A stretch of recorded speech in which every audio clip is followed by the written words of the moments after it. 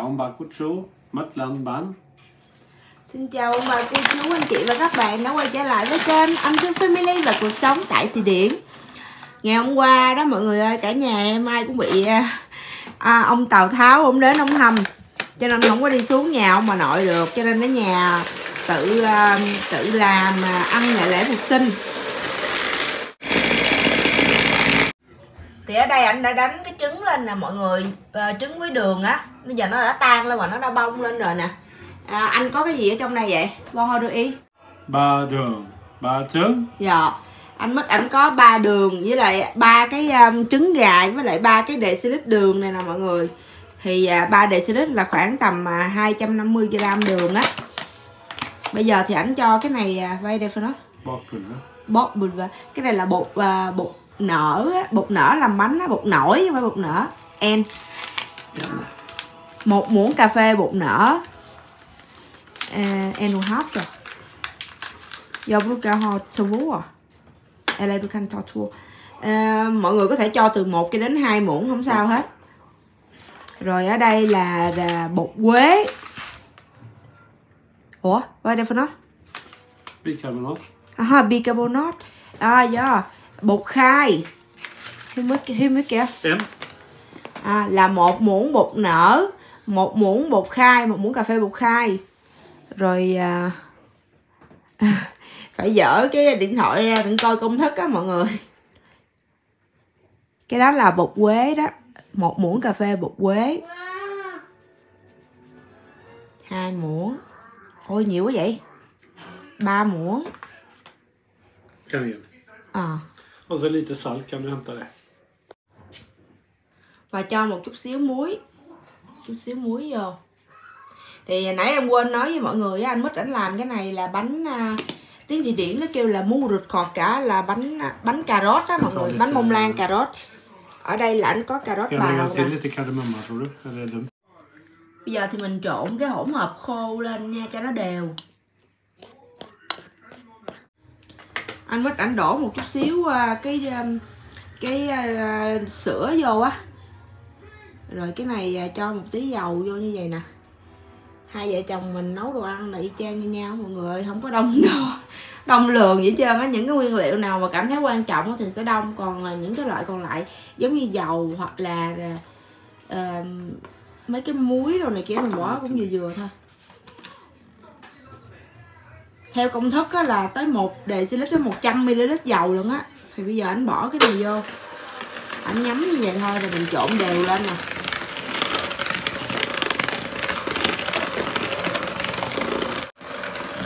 Kế đến đó thì mình cho cái à, cái hỗn hợp à, nguyên liệu khô vô. Bật ở cái số nhỏ nhất cái số trộn á. Thì mình trộn cho nó đều cái hỗn hợp lại nhau thôi.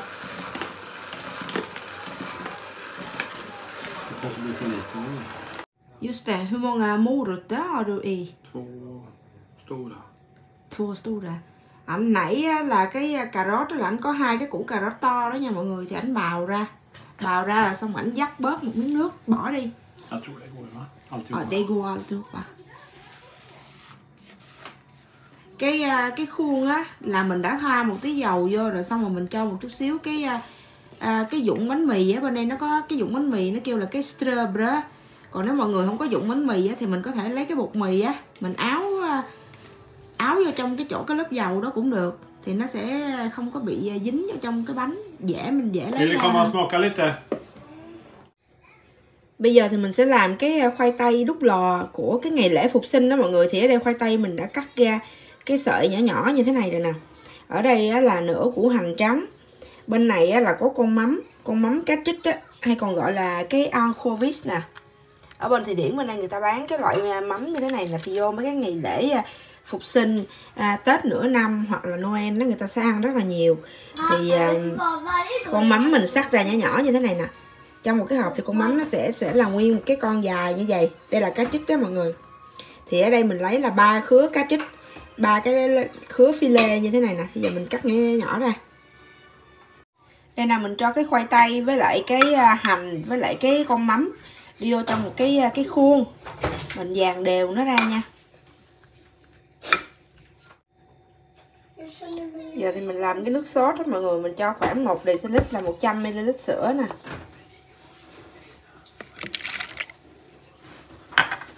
Bên đây là mình có, ở đây là mình có cái này là, cái đó để là cái kem à, kem tươi á.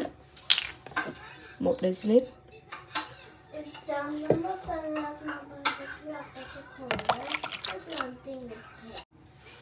ở đây là creme fraiche là giống như là da ua á. Da ua của um, Greek kiệt giống như dạng vậy đó nhưng mà cái này là creme fraiche thì mình cho hai muỗng vô.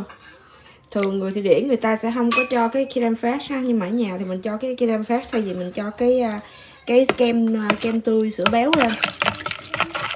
Trộn đều nó lên bây giờ thì mình đổ cái hỗn hợp này vô trong cái à, khoai tây.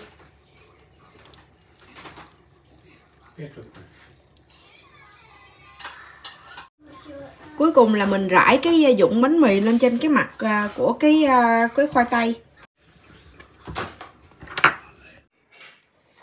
Post tiếng Thụy Điển có nghĩa là lễ phục sinh đó mọi người ơi. Thì anh Mít là nãy anh làm cái cái bánh cà rốt xong rồi nè đó trái cây. Bây giờ là nhà mình chuẩn bị uống cà phê. Thì à, hôm nay chỉ ăn đơn giản như vậy thôi. Hey hey Alice. À đây cứ giờ em bé của con á ở giờ nút cho em bé ăn kìa ông bà cô chú ơi.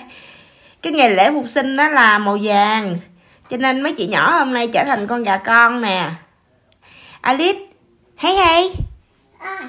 À đang cho à, đang đút cho em bé ăn không có thời gian rảnh Alice mấy bữa nay hết ngoan rồi hết chào ông bà cô chú rồi Nej, det är inte tårta. Va? lấy cái đó lấy cái này ra. Julia có muốn ăn cái này không?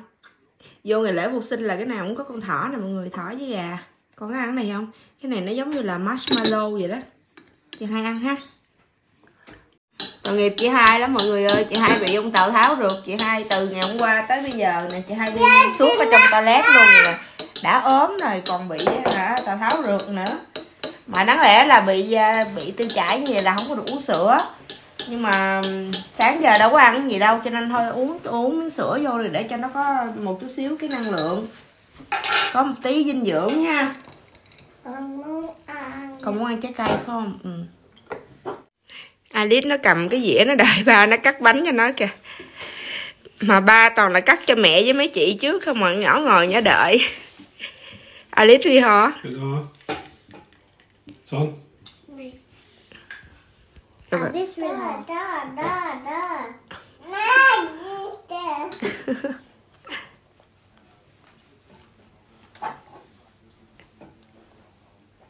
Inte tårta. Men det är inte tårta, det är kaka. Inte kaka. Vad vill đây là cái bánh cà rốt anh mới tỉnh làm xong nè mọi người. Thì cái lớp màu trắng này là là cái lớp kem à, Philadelphia. À, xong rồi cái anh bỏ cái um, chanh vàng vô á thì cái vị nó sẽ chua chua. Cái bánh rất là mềm ở bên trong rất là mềm và xốp luôn nè. Mời mọi người. Ừ, ừ. so safty so good nó mềm lắm luôn á, mọi người, nó tan ở trong miệng luôn á Sophia nó không có thích ăn cái bánh này tại vì có cà rốt ở trong nó không ăn nó ăn dâu à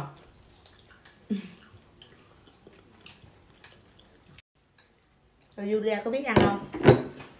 Julia có biết ăn bánh không? Không biết ăn luôn hả? Tại vì trong cái bánh này nó có cái quế cái quế ờ, mấy đứa nhỏ nó không có biết ăn. Tụi nó ăn trái cây mà.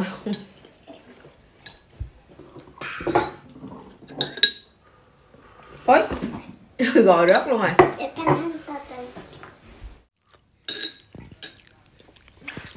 Ngon không Alice? Ngon không? Ngon hả? Ăn trái dâu ngon chứ phải ăn bánh ngon đâu à. Con có thử bánh của ba ba chưa? Con có ăn khót cả chưa? Yên chả? Ừ, bánh ngon lắm á. Hồi nãy chị hai nói gì? Bánh ngon, con không thích sốt. Cái bánh ngon hả? Con không có thích sốt à? cái bánh à, có cà rốt ở trong ăn đồ tốt lắm á ăn cái bánh cà rốt này vô á cho nó cũng cầm á nó không có bị đau bụng nữa không có đi toilet nữa đó cái lúc này Alice nó quậy á xong nó đòi đi xuống à, dưới đất chơi á. Cái xong rồi cái nó đi xong nó dấp nó té nó đập cái đầu nó vô trong à, cái à, bàn sofa sưng cái đầu quá trời luôn. Rồi xong rồi cái um, nó ói sau đó nữa. Thì mình với anh Mít không có biết là do là nó đang bị à, mó khùi cả là cái bệnh ói với lại đi tiêu chảy á, của Thị Điển hay là do nó đập đầu nó bị chấn thương sọ não. Cho nên gọi lên bệnh viện rồi chở à, Alice đi vô cấp cứu để đi kiểm tra mà rất là may là không có sao hết trơn á bây giờ theo dõi một ngày một đêm. Thì à, cho nên ông bà cô chú anh chị và các bạn thông cảm nha. Cái clip hôm nay mình à, xin phép dừng tại đây. À, hẹn gặp lại mọi người vào à, 7 giờ 30 ngày mai nhé bye bye mọi người